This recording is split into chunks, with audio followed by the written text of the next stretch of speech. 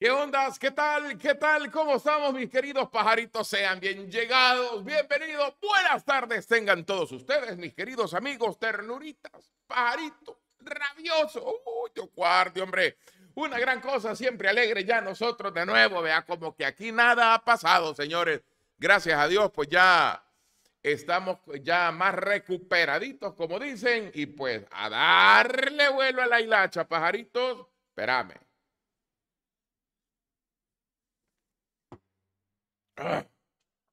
Miren, ya desde hoy ustedes pueden ir, si así lo desean, encargando estos cortes premium, vacío, ribeye, costilla de res sin hueso, porque los bichos de cálidos, sábado en la noche y domingo al mediodía, te tienen esta nueva opción con cortes premium, papá. No carne de jacerota chancleta que come mierda, mano.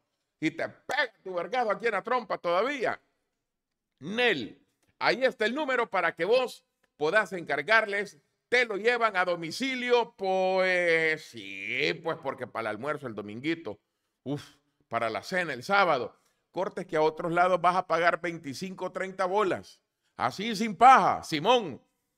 Ahí estos bichos te lo tienen mucho más barato. Así que ponete las vivas, ahí vas a ver. Mira, puta, es que dos cortes, pues yo la vez pasada me, me regalaron, porque sí me lo regalaron, un corte de ese de ribeye. Puta.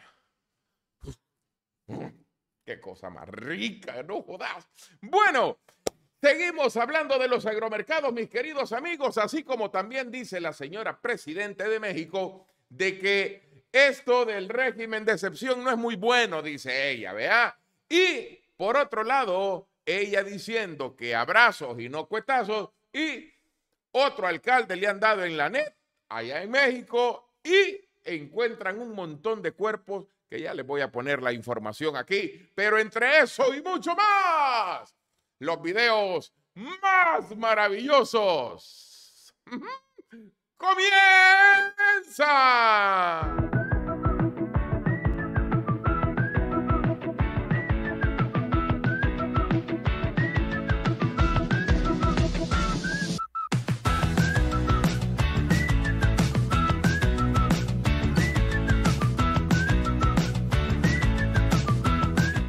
Así que sean bien llegados todos ustedes, mis queridos amigos, sean bienvenidos, como les repito, gracias a los bichos de cálidos con su nueva opción para los fines de semana, sábado en la tarde, noche y domingo al mediodía, cortes premium de carne de res. Vaya. Vamos a comenzar con esto que a mí siempre me gusta pasarle los diversos operativos en los que la fiscalía anda agarrando, pero a lo pendejo a todos los delincuentes. Ah, no, no, no, no, no. Está bueno, estos no perdonan. Y es por eso que agarraron a unos sujetos, seis personas, dice entre ellos, oí la onda, abogados y notarios, acusados de expropiar, imagínate, le quitaban los inmuebles por pago a los, a los clientes. po. Escuchar lo que dicen los amigos de la fiscalía ahí. Déjame ver, aquí está. Eh, por parte de la Unidad de Administración de Justicia de la Oficina Fiscal de San Salvador, como parte de la Dirección de los Intereses del Estado, este día se han hecho efectivas eh, 10 órdenes de captura, resolviendo de esa manera seis casos, de los cuales se han interpuesto denuncia a partir desde el año 2018, 2021, 2022, 2023, en los cuales se ha denunciado diversos actos ilícitos. En lo que estas personas han hecho es apropiarse de inmuebles de familiares incluso, de personas particulares, haciéndose pasar eh, por corredores de bienes raíces, han despojado de sus pertenencias a personas eh, de diferentes maneras, haciendo un monto total aproximadamente de unos 400 mil dólares en el valor de todos estos inmuebles. Entre esas personas que han sido capturadas se encuentran dos notarios, entre ellos eh, la señora Janet Celina Cruz de Ramos, esta persona valiéndose de su cargo de eh, notario, esa persona otorgó una escritura pública en la cual se hizo constar una donación donde se despojó de un inmueble a una persona. Este inmueble está valorado en 151 mil dólares. Asimismo, también Ese día se ha capturado a la señora Ángela Noemi Bardi Morales, también a quien se le está atribuyendo ese despojo que se ha hecho de un familiar de un inmueble. Así también a la señora Xiomara Evelyn Muñoz Flores, quien era compañera de vida de la víctima. Esta persona haciendo un poder falso eh, mientras él se encontraba fuera del país ella vendió el inmueble. Posteriormente, eh, tuvo una ganancia, ¿verdad?, en perjuicio de, la víctima de un aproximado de 25 mil dólares. Asimismo, pues, eh, todas esas personas van a ser acusadas por los delitos, diversos delitos, entre ellos eh, falsedad material, falsedad ideológica, falsedad documental agravada, uso y tenencia de documentos falsos. se han girado en la ciudad de Apopa, Santa Tecla, San Salvador y Soyapango. Como Fiscalía General de la República estamos trabajando contra el combate de todas esas personas que valiéndose de sus títulos, valiéndose del conocimiento, ponen en peligro y afectan directamente a la población, ya que con el conocimiento que ellos tienen se apropian ilegalmente de todos estos inmuebles y posteriormente estafan a otras personas. Ahí está, señores, ahí está. ¡Qué paloma, vea vos! Todo lo que anda haciendo la gente ahora por bajarse a los demás.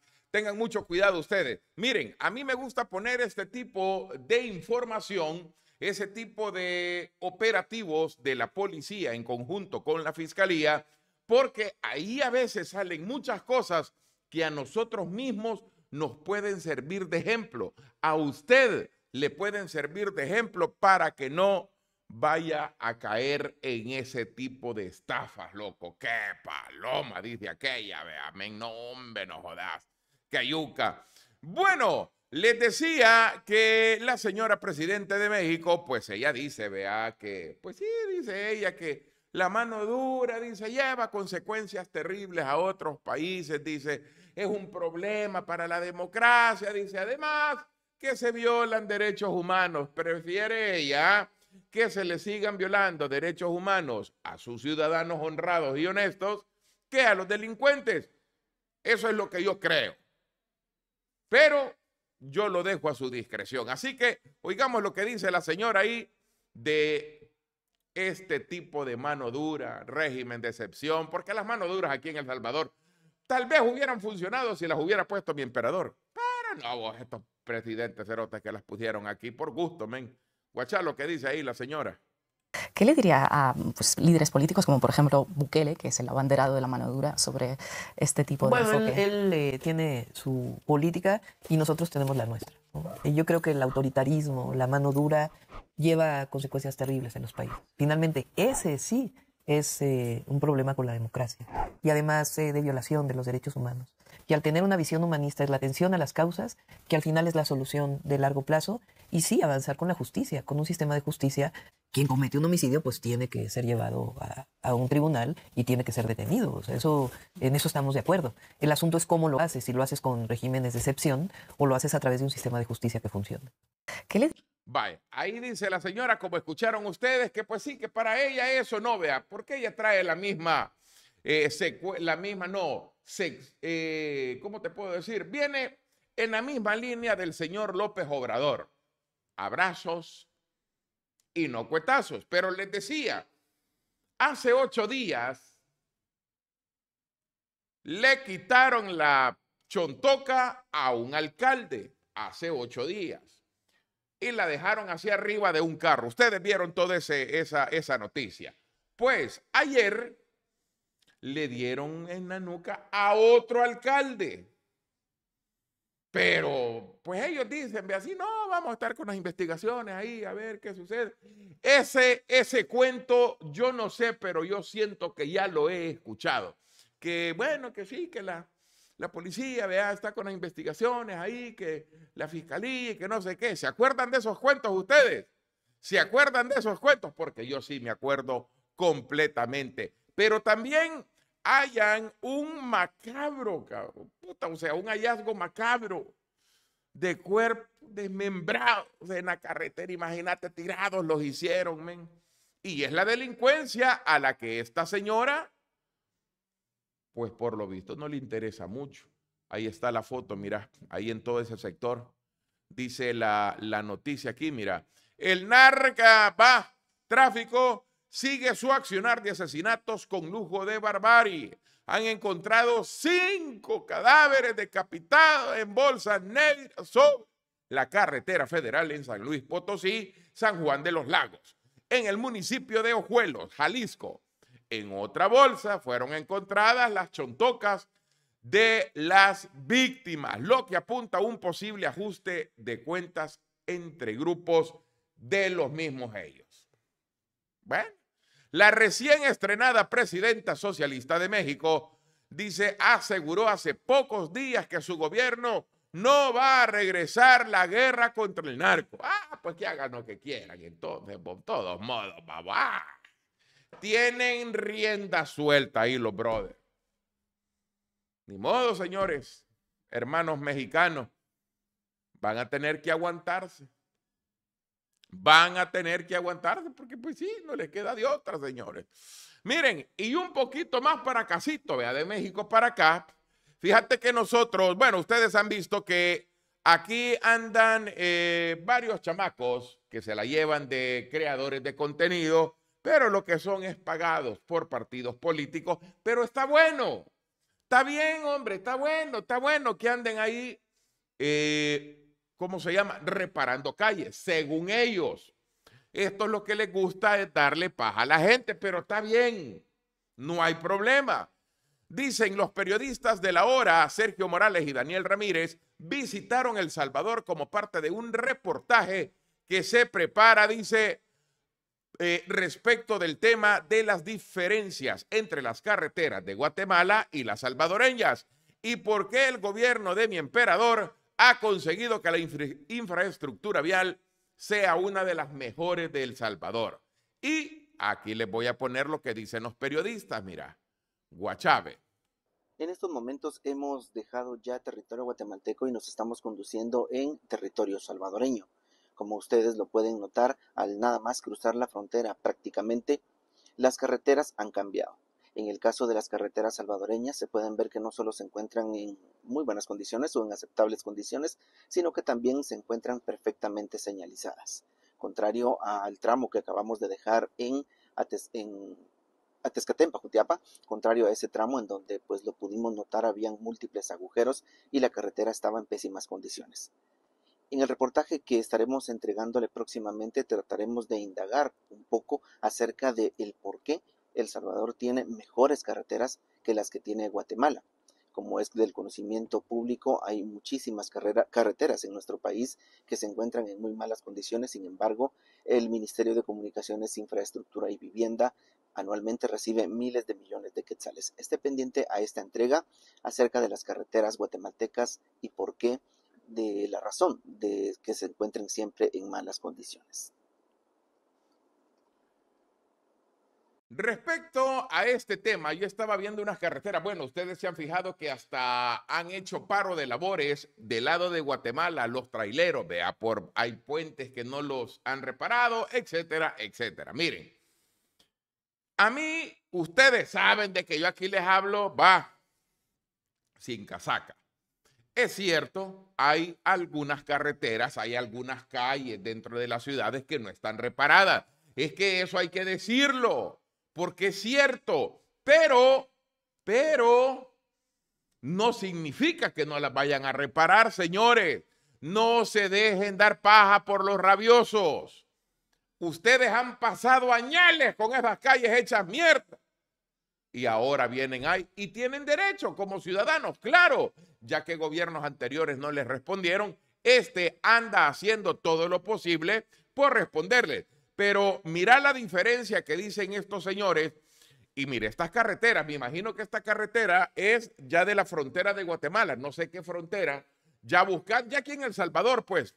Y yo vi un video donde de la frontera de Guatemala para allá, ya dentro de Guatemala, loco, unas calles tan hechas, mierda, men, que fue gran puta mano. Entonces, significa que despacio y con buena letra, vea, porque tampoco aquí es Mandrake, vea, Harry Potter o Houdini, que solo van a hacer un movimiento o unas palabras y ¡pum! todo va a estar vergón. No, tranquilo, tranquilo. Pero estas carreteras dicen mucho. Esas carreteras, esa carretera se mira que está vergona. Esa carretera neta se mira que está cachimbón y así como esa hay muchas otras carreteras que vos podés ir a disfrutar. Bueno, ustedes que han venido acá y como repito, sí, hay algunas que no, mano. Hay unas que, puta, vos, Dios guárdeme, están pero jodidas, pero no significa que no las vayan a arreglar. Miren, es como lo que dice el chino, vea, en un evento que tuvieron que dijo él, el que no vino, dijo el chino, no está conmigo, dijo. Y le responde Cayetano, ay, un afiliado, un terengo, vea, también de hueso rojo. Estás loco, chino, le dijo, madura, hijo, le dijo. Madura, hijo, le dijo. ¿Y lo que le dice? Chafik decía de que el único que podía distraer, de, destruir al frente era el mismo frente. Sí, así decía. Así lo decía. Entonces ahora queremos ver nosotros si, si hay gente que quiere destruir al frente. Entonces, eh, claro, muchos nos resistimos a eso y nos vamos a resistir porque no vamos a dejar que el frente muera. Por ejemplo, fíjate, cosas inmaduras. Para mí hay cosas inmaduras, infantilismo. Decir que porque el que no vino aquí no está conmigo, no quiere el partido. O sea, eso es infantil. Esa es una inmadurez. Y en un dirigente de esa categoría, eso no, no vale. Porque nosotros hemos señalado nuevas ideas y lo vamos a ir señalando que tienen cosas de matonería, de, inmadurez, porque la tienen. Pero fíjate bien, Chafik, por ejemplo, Chafik no es solo del Partido Comunista, o sea, el legado de Chafik no es solo del Partido Comunista ni de la corriente Chafik. Chafik es de todo el partido, el Chafik es del pueblo, ¿ya? porque dejó un legado de respeto, por eso estábamos ahí. Pero, ¿qué pasa? Allí no llegó el secretario, el secretario general no llegó, anda en una misión, ok. Curiosamente. Ajá, vaya, entonces, ¿qué? Lo vamos a expulsar también porque no llegó, va. No llegó el coordinador de concejales que ellos han puesto, no llegó. Por cierto, ¿Ah? ¿quién es el coordinador de concejales? Eh, compañero Raúl Cabrera de San Marcos. Ah, muy bien. Entonces, decime vos, entonces lo vamos a echar porque no llegó. No, hombre, no puede ser así. el chino no goza, no goza de la, de la aceptación y del respeto de las dos corrientes. De, de alguna manera, tal vez más del agrupamiento de él, porque otros no lo ven con seriedad y vos querés ver a, un secretario general con un planteamiento ¿Por qué no, ¿Por qué no se ve con seriedad a, Manuel Chino Flores, eh, Cayetano? No, hay algunas acciones que, hace Manuel que la gente no le cae en gracia, vaya, te lo digo así, no le cae en Y él lo sabe. Claro, a veces es el hecho de, eh, yo esperaría que no estuviera ya en campaña para el 2029 él, va, porque él dijo que no lo va a hacer, yo espero que no lo vaya a hacer, porque no se puede ser... Que no se vaya a candidatear. Sí, eh, pero si es decisión de él, pero yo creería que sería un error. ¿Hay algo que se lo impide? No, en realidad no tendría que renunciar a la Secretaría General, pero entonces para qué la toma si va si el objetivo es otro. Miren, y eso está bien yuca, porque fíjate que estaba viendo de que eh, con respecto a eso, también en esa misma entrevista, gracias a Nathan Bakis, aquí le sigue se la sigue dejando ir. No, hombre, si es que no lo perdonó, viejo. Guachá. Escuchan, porque quiero que oigan bien esto también, que el chino prácticamente solo su propio grupito, según lo quiere. Bueno, es más, ya van a escuchar ustedes, quieren más a la Marlene Funes que al propio chino. Creo que dentro del frente hay mucha gente con mucha sabiduría que va a saber ponerla en función y va a saber corregir. Fíjate que va el chino y todo, incluso en la corriente del chino, porque el chino es que no es grupo, pero tiene su grupo y, cómo es que llegó, pues. La misma adjunta, Marlene Funes, este, Marlene Funes goza de respeto de, las dos corrientes, de muchas de las dos corrientes. ¿Por qué? Porque batalló también. El chino no goza, no goza de la, de la aceptación y del respeto de las dos corrientes. De, de alguna manera, tal vez más del agrupamiento de él, porque otros no lo ven con seriedad.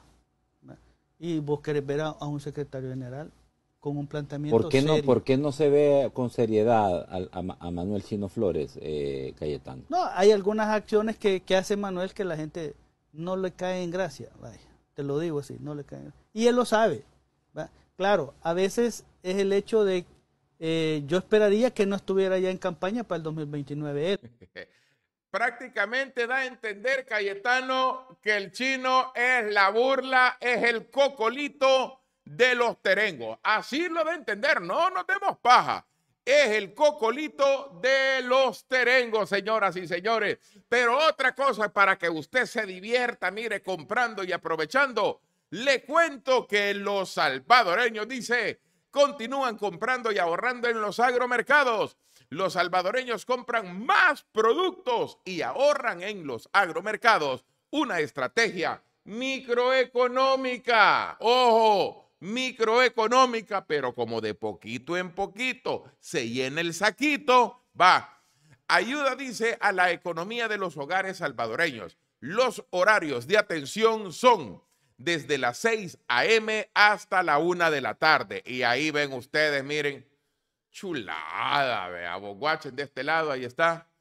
Chulada, hombre, no das, Dios guarde, viejo. ¿Ah? Guachá, mire si otro, ve. Puta, qué rica esa fruta, mira. Sabroso, loco, sabroso. Y eso lo puedes encontrar a precios bajos en los agromercados. Guachen, ajá tomatillos, vaya los que les gusta la berenjena, a huevo, Simón. Y por supuesto la papa, la papa, la papa, la papa, la papa, la papa, la papa, la papa soloma, la papa soloma. Ahí está, ¿ves? Bye. ¿Qué más le podemos pedir a la vida? Despacio y con buena letra. No somos un país primermundista, aún, todavía, pero se van a acordar de mis palabras cuando El Salvador repunte con su economía. No sé si yo lo voy a lograr ver, porque uno nunca sabe, pero se van a acordar de mis palabras. Yo le he puesto toda la fe también a lo que mi emperador está y va a hacer. ¿Estamos? Estos bichos el fin de semana ya saben que van a hacer esos cortes premium. Sábado en la noche, domingo al mediodía, ribeye, vacío y costilla de res sin hueso es el menú con sus papas cambray, dice, con su chorizo argentino, el chimol y las dos tormentas que ahí vienen para que usted mire, vos sos, vos sos, y si no sos, te pareces. Ahí está el número de teléfono para que te pongas en contacto con ellos, porque todo es por encargo. ¿Estamos? Pajaritos. Besos ricos, tronadores y sabrosos en el Chiquis Triquis.